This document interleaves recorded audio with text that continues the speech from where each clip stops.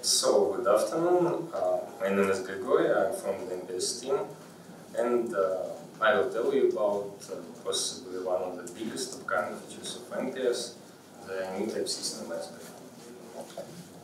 Uh, so, um, I will cover the manipulation behind the replacing the existing type system aspect, uh, about the formal background of the new, on the framework behind the new aspect, it is called Coderules, uh, about the, its uh, main features, its crucial user-facing features, and uh, at the end I will say a few words about the current status and the ongoing work and uh, well, the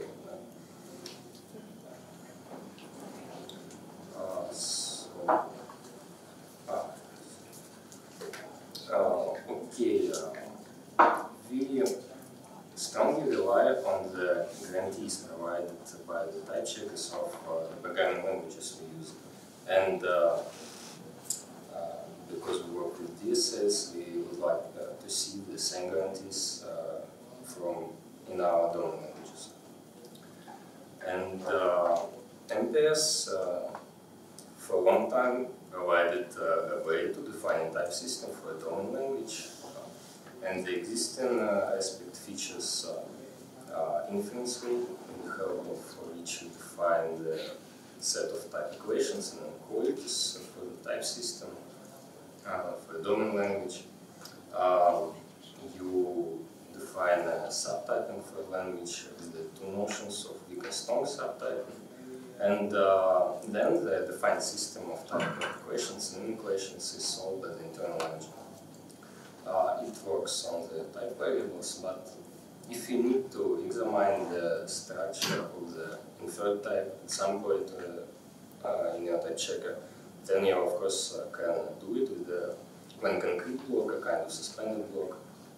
And so while this uh, notation, this uh, existing language can be brief and concise, it leaves many questions unanswered when it comes to the question of how exactly the resultant system of type equations is uh, processed by the internal engine. So the internal engine is uh, back um, and uh, you can control, can define your own uh, relations your, or some other relation between the types. You, uh, for example, Java has a lot of conversions with clearly defined contexts when uh, some types are compatible when they are not. And uh, you have to uh, emulate all this with uh, only two embedded notions, uh, strict notions of weak and strong subtyping. This is clearly not enough. Uh, and there is also a problem with numerous when concrete is now concrete warnings when sometimes during the process of type checking some type variables never got assigned final type, and uh, the user is uh, evidently is left wondering what went wrong. There's uh, and uh, well, this is uh, a necessary evil. This warning uh, is a necessary evil because there is no way to hook up into the engine and to spy on types to see when exactly they got assigned, how they processed, and to solve all these problems and to provide a language design with a more expressive system uh, language, uh, we decided to redesign it. And uh, well, uh, let's see what uh, stands behind the current framework, uh, behind, behind the new framework, behind the Coderules. Um, so essentially what it is, Coderules is a technology that brings logic programming in the form of constraints processing uh, into the MPS framework to implement type checking. And because it is a general purpose logic programming framework, it is uh, flexible. Uh, you can implement not only uh, type checking, but also other kinds of static analysis as well uh, on the models. And uh, the formalism, which is a background of Coderules, is called constraints handling rules. Uh, so, and the core semantics, notions come from, from this language, from this formalism. uh, it is the CHR for short. So CHR is a declarative rule-based language.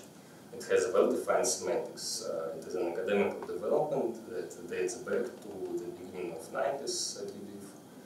And uh, uh, from this time, it has accumulated a large body of uh, literature. There is a book uh, about it. Uh, and um, it also has accumulated a certain experience of when it is good, when which problems it, it is bad at solving. And so it suited very well our purpose and uh, so let's look at its basic notions because when you understand uh, them, uh, you basically understand how to program modules.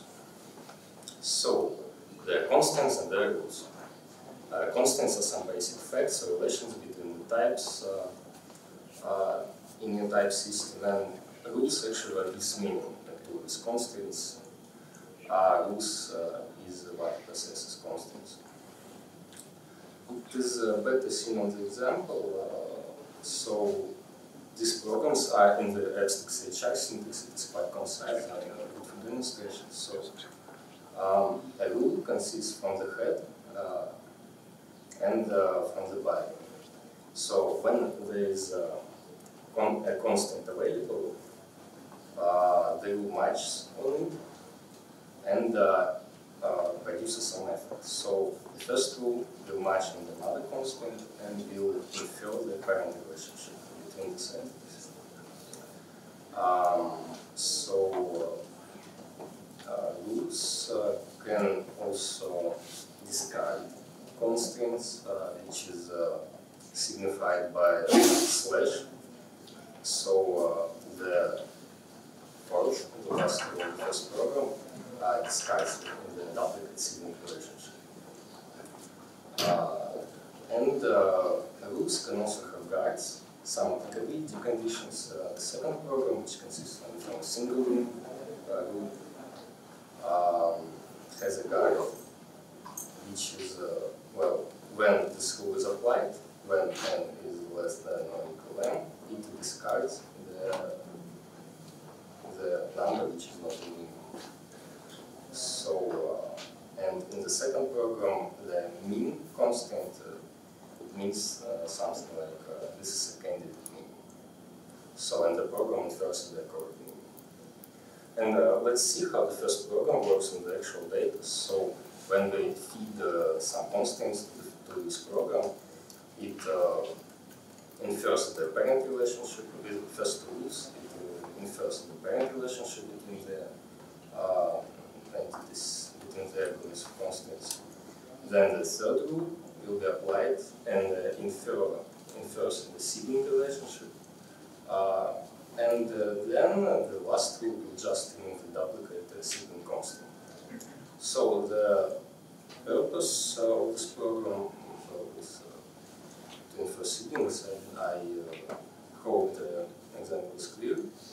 And now let's move closer, closer to our domain, to domain type systems. And uh, this is already code rules for example, rules syntax.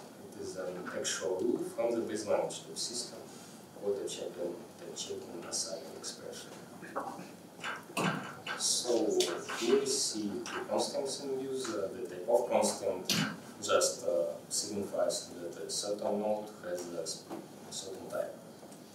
And uh, when uh, uh, the types of A value and R value are known, this will match, will be applied, and with the help of converts to constant, we will check that R type is a subtype of A type. So converts to uh, the constant converts to uh, the um, signifies uh, means the general subtyping relationship. So, uh, yes. So the on is the head from before, the activate is the body? Uh, so, can you repeat please? The on, blah blah blah, is the head? Uh, no, the head uh, is what, uh, Yes, it is the head uh, on this constant, much of these constants, it is the head. And the body is uh, the activate part, yes. But the term is just variable declarations. Uh, the term, yes, it is a, a logical variable, I will come to this. So uh, now we can think of that as a type variable from the type system as well. Um, so, and then converts to constant is activated in a type that is uh, the subtype annihilation is present, uh, then uh, the type of constant of the whole sign expression is produced and uh, the program sample continues. Um, yes. The- Can you go back again, please? yes. The converts to acts as a guard here, correct? Uh, no, uh, this rule is without guard. Uh, the guard is uh, like on, it is a head. The guard will be where guard. Okay. Uh, there will be an example with the guard. But isn't it So supposed if to it be doesn't convert, it's still, the type of is still. Uh, no, if it doesn't cover the rule, uh, the rule fails at this point, and That's what I meant by guard, you kind of.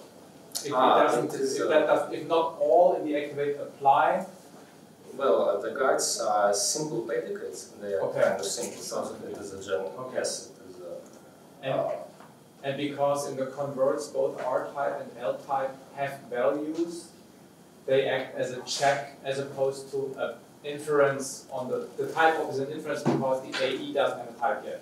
That, that's similar to the existing type system. Uh, well, uh, actually, it depends on how you write the system. Uh, in base language, there are all of these uh, type variables will already uh, will have values.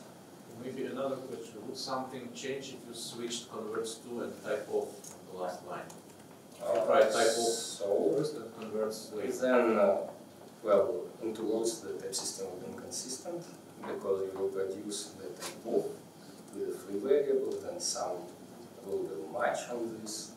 Well, be just a mistake in this case. So if one of the clauses in activate fails because the solver cannot produce a match, Uh, yes. Um, then then do all of the clauses not apply or does it go sequentially and only the one after the failure? That's what you asked Sergey, right? Basically. Kind of. But this after is uh, not applied, what is before, well, it has been applied already. Okay, so it's not transactional in that sense. Yes. Okay, so the order is relevant. Um, uh, if uh, something in the body fails, then uh, there can be uh, another part of the body, like uh, like an else branch, where you can output an error, for example. Uh-huh. So uh, yes, uh, we, everything everything that is later is not applied. So and it is not trans- not transactional. Um, and to be clear, there is no solver. Uh, the whole type system is defined only by you. So converts to relationship is to defined by you. There are rules that uh, yeah, evaluate. There are rules that compute this relationship. So type of and converts is a function that I write. Yes. Okay. So But there must be a solver that, that Uh, tries to unify Yes, it. uh, yes, of course, there is a basic uh, Engine, yeah. solver with, uh, yes, with basic logical relationships. Uh, so let's move on. Uh, but if you have another question, you know, about yes, no. Okay, very quick one. Is the, is the language implementation architected in a way where I can define my own syntactic extensions to this language? Uh, what do you mean with syntactic? Well, for example, if I don't want to have the generic on activate thing, but just a, a new language concept that says assume subtype A comma B. I'm just making something up. So is Um, this whole system extensible not just by defining new predicates, but just by building a well an MPS language extension on top of it? Well, uh, at this point, uh, no embedded predicates, no such functionality, so you now you have to define uh, all the rules. You have to write can I- I- Can I create my own language and generate this language out of my own language? Will it work? And, uh, well, I suppose yes. Because there- there, there are languages in MPS where you can do this, there are languages in MPS where you can't. Yeah. For example, you can extend the base language, of course, but you can't meaningfully extend the build and Any generate examples language. language, uh, well, sentence is yes. So I guess the question that Marcus is asking is, is there anything generated from this that is executed or are these models interpreted so that the interpreter needs to know all the concepts of the language? Um, so, let me think. Uh, can you please? Okay, so when you write these, this type system, right, do you generate Java code or whatever out of this that is then executed by the engine, or do you iterate through the model and interpret the AST nodes in the MPS AST? Uh, the Java code is generated. Okay, And then we should be able to do it. yes, exactly. Uh, so, uh, uh, to be clear, why we chose uh, this uh, formal basis for Coderules, because it is has a well-defined semantics. So, when you write your type system, it is written correctly. You can be sure that it behaves as expected. You can read the formalism, how it behaves, how the programs uh, are evaluated, and uh, well, you will be sure how it generally works, as opposed to the opaque uh, text type uh, system type engine. Uh, so, and you have the complete freedom over the definition of your type system. You are not restricted some embedded uh, subtyping relationship. You define your, your as and uh, type system uh, type systems are actually naturally expressed as a set of declarative rules. So such a declarative logical language is uh, very well suited for our purpose. Uh, and uh, let's now see what are the features of Coderules which integrate the basic semantics of CHR into framework of MPS. Um, uh, so uh, what you write actually not the rules which are applied, but the rule templates. So the evaluation, the uh, running of the type system is actually two-stage process. The first stage is uh, applying rule templates to the concepts. Uh, and uh, this stage generates runtime, runtime representation, uh, a program, Coderules program, which is then applied to the second stage. So uh, this rule is from the experimental control flow aspect for base language. Uh, and uh, mm, so the template part is the header, like matching, local variable declaration. It is uh, similar to legacy type system where you write your rules for specific concepts.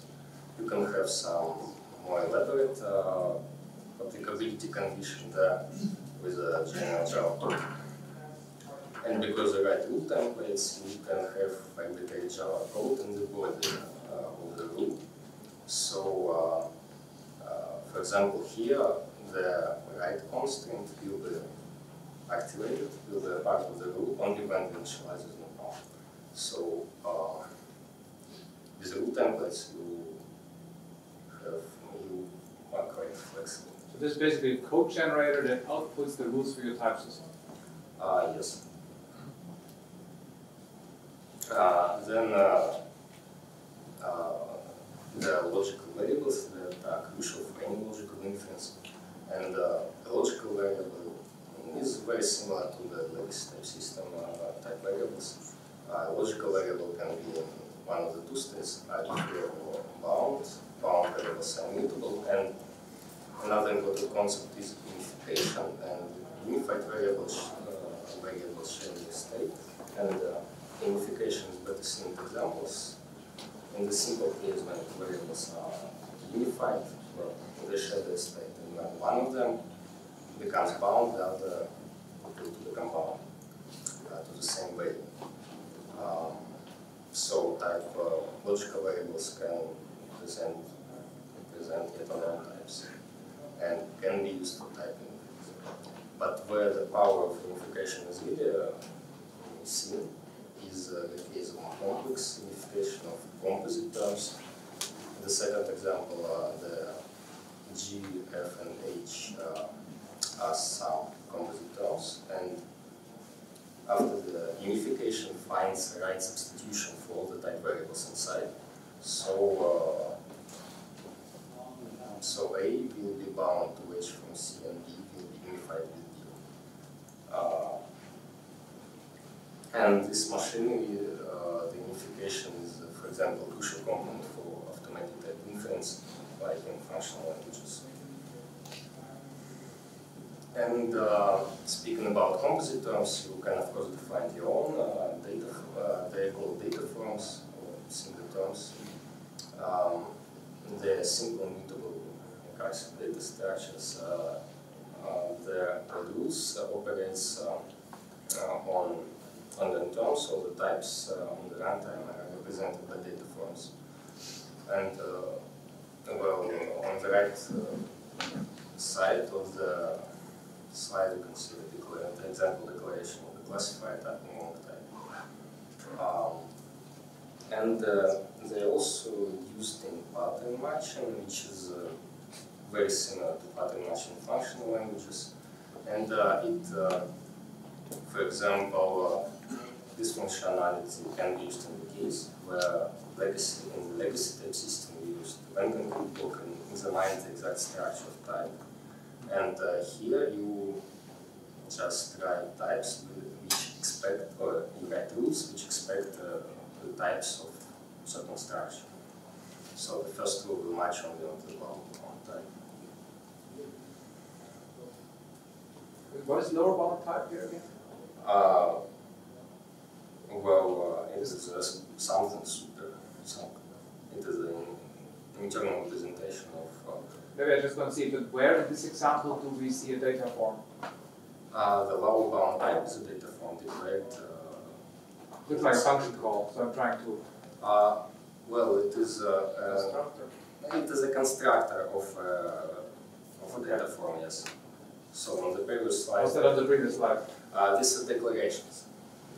Where does it say lower bound type? Or Uh, it only two examples. Okay, alright. So they're much Okay, more. alright. Uh, and uh, the predicates, embedded predicates, uh, so predicates are used uh, in two roles. They either check conditions in Bulgari, there's example of Bulgari. Uh, so, or they use to assert some properties in bodies. Uh, so, if uh, in the body uh, predicate fails, then uh, the rule fails and there you get uh, some type checking error. And there are basic embedded predicates from which you build all your relationships in the type system. Um, there is unification, which I already covered. Equality just checks that the terms are structured the same and the variables that they use they are the same. Uh, then there is substitution, which works exactly as expected. And there is general purpose eval predicate, uh, which you can use when existing things are not enough, uh, and uh, from a value you can call something, some utilities for type system.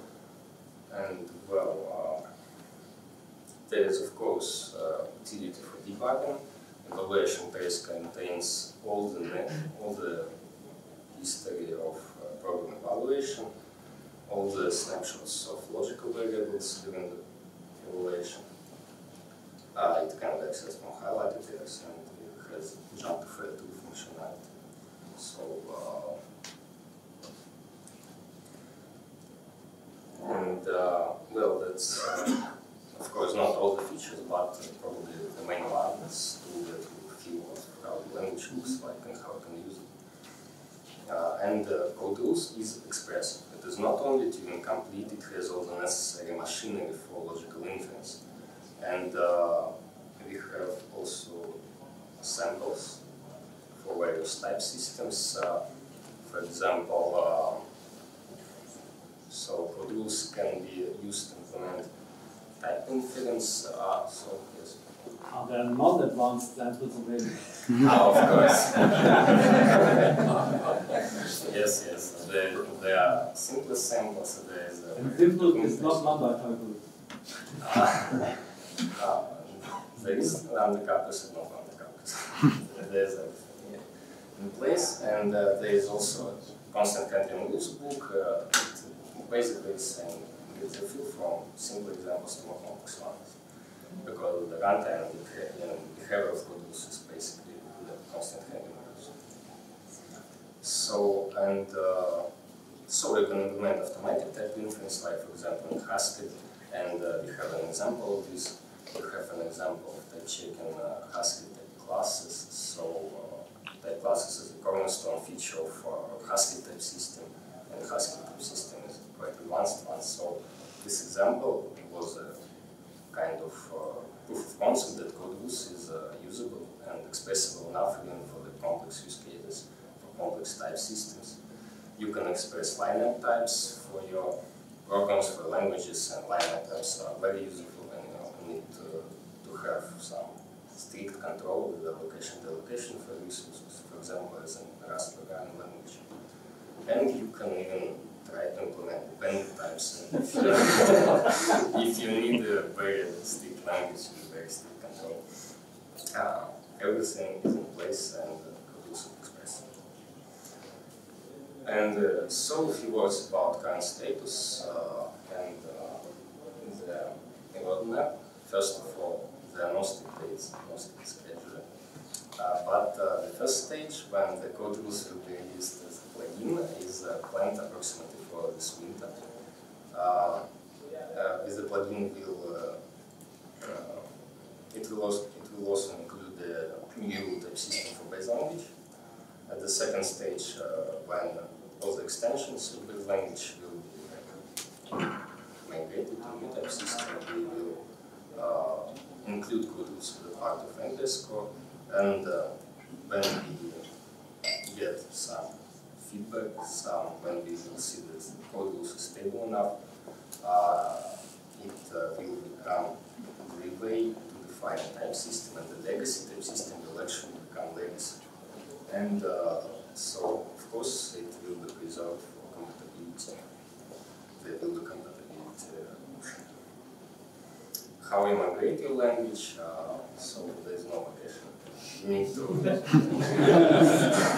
you need uh, basically to implement the type system, but uh, well, these systems are just different. So uh, there are some considerations when you have several languages uh, which either extend each other or use together. Uh, I will not expand on them now, they will be covered in appropriate release notes, so just for you to know. Um, and what's now, what we are working now on uh, the new type system for base language is basically done, but there's still some gaps. Uh, we need to implement type system, new type systems for base language extensions. They, uh, their work on the intermediate is ongoing, so type system will remain fast, however, big models. Uh, so, uh, uh, because there's difference with legacy system that you there's no direct mapping between the rules you write and the concepts that are in your model in language. Um, there is a heuristic for reporting type checking errors. Uh, it is good enough for most purposes and it outputs the errors where there might be, but if you see that they are not, you can manually specify where to output a error, and uh, in this aspect, uh, it is, uh, there is, some room for improvement in terms of usability. And uh, there is also a question of translating the type annotations from a source model to the internal representation of terms in rules program. And uh, at the end of running the checker, you need to terms back to type annotations. And uh, uh, now some boilerplate code is required for that, but uh, we are um, thinking on how to make it better. And that's basically it. Uh, and now, at this point, you can download source code and build it uh, with all the samples the building process is quite trivial. So, and uh, there is a site with a um, quite complete documentation and uh, explanation of samples. So, we encourage you to try it, to download, try it, to give us some feedback and to let us know about your thoughts. So, thank you.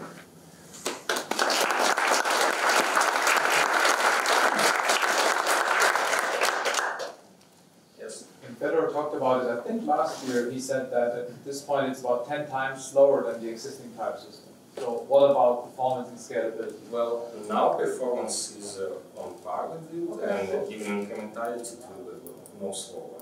So it is much better now. More questions? Could you also use it for completely different purposes, for instance, uh, mentioned interpreters or uh, things like that? Is that- interpreters. well, it is still incomplete and well, you can implement uh, other kinds of static analysis, for example, control flow analysis. There is even sample for that. So it's in the answer yes. Generally, yes. Type checking is just uh, main purpose.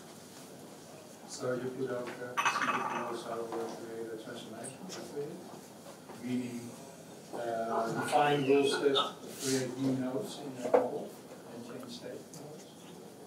Uh, That's, I'm, I'm, I'm a little bit, it's still a debate, how, how the, the state of the nodes and the model relate to the, the, the structures that we can so, reason uh, about in uh, so uh, whether there's a two-way relationship.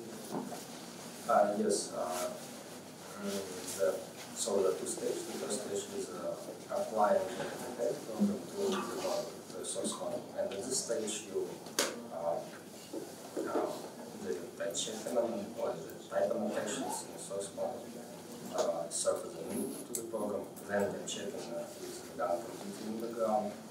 And at the end you, uh, you construct from terms, and yes, you modify your source model, your assign types to, uh, to the nodes from node. Yeah, so it doesn't, need, so it's not necessarily the type information is the activity. Yes, It could also derive other stuff, so you can also. So uh, for now, there is uh, no general machining for that, and there is now machining for type checking, but it, it should, of course, it will be. So when you say it's intended for type checking, did, did you build anything on top of these constraint handling, rules that makes it specifically suitable or easy for type checking?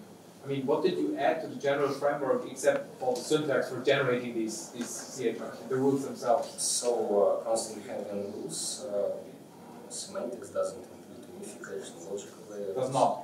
Does not. Does not, So, okay. logical variables, which are necessary for logical inference. Yeah. Uh, and this logical inference, basically it's a general constraint, and it is sufficient. But does it ship with a set of predefined, I guess, predicates or functions like type of, subtype? Is there is there already a kind of set of No, No, okay. And is that intentional or just you didn't get around to doing it yet? Or? Possibly it will be, uh, so for now, no.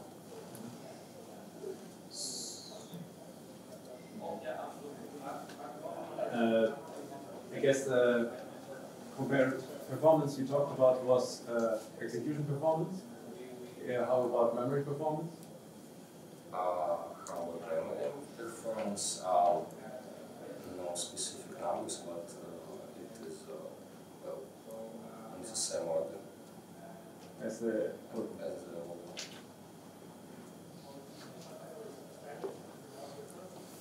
Yes.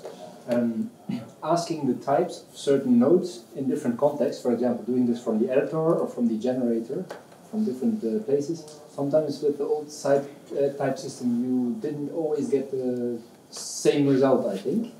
Is that also, um, um, is that solved in this type system?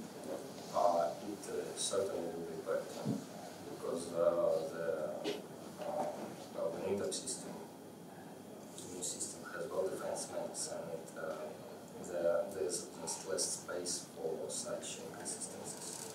And the current uh, tests uh, are written in such a way so local uh, type checking for base language, for example, uh, well, that queries will return the same type. So it is better. Is the new type system supposed to also replace the checking rules?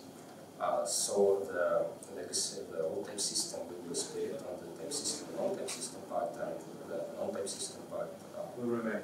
uh, will remain. Yes, Oh, that makes sense, okay. yes, of course. Uh, when you split this, can I make a suggestion? A feature request? It might apply to the new type system as well. The, the messages you output, right now they're recorded with strings. It would be nice if they could be objects, so that you can transport data and then only render it with to string in the editor, but you have other data available for further processing. If you touch it anyway, maybe that's an idea. Uh, so, thank you for the.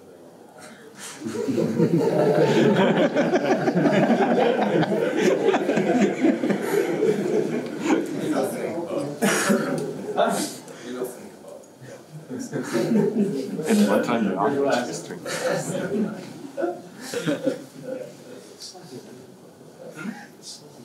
Yes. Uh, especially in a generator, I think currently the type system mostly screws up if you have some parts of your models already trans- translated to some level and some parts not. Um, Does it screw up in this case?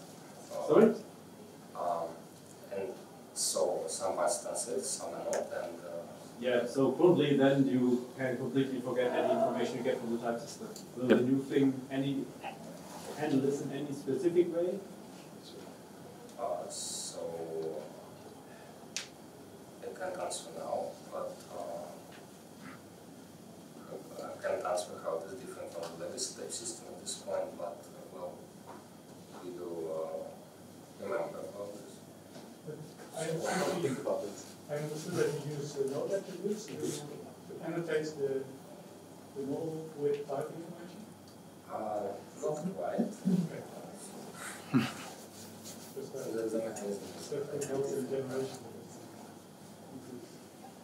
Keep the node attributes. Yeah. Is is there also a plan to make uh, the transformation language more uh, sound and uh, consistent? Similar to the type system.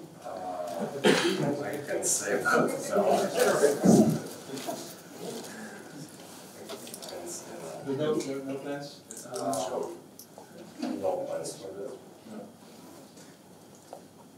So I can create uh, my own uh, rules uh, and use them via a language or uh, can I provide them, how do I provide those rules? Uh, so the mechanism of uh, queries to type check and to type check is the same.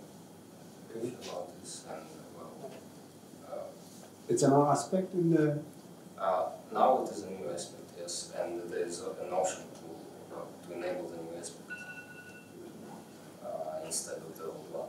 And at this point is. So. can I, um, how do I manage, uh, maybe I read your, sorry. I just read your documentation first. Uh, Sorry. Too many questions in my head. Thank you. um, so if there are no more questions, then thank you. very much.